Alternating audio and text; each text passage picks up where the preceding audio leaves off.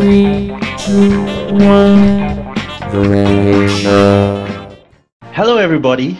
Welcome to another exciting episode of The Renegade Show. And today I have a really special guest with me.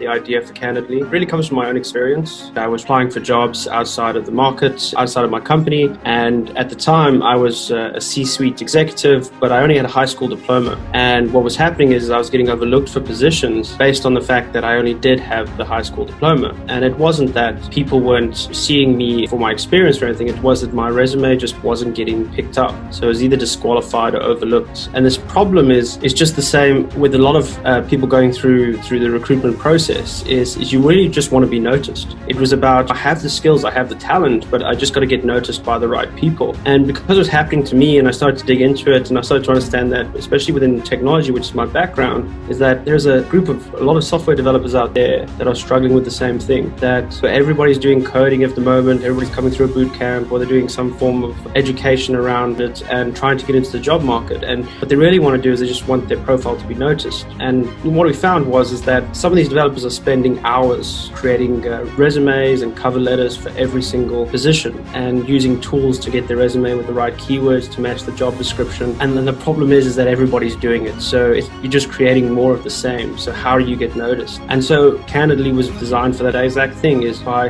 creating a platform for, for developers to show the skills that they have without being biased by their background, their education, their resume, or any other bias, conscious or unconscious in the in the screening process. Boom! And we are on.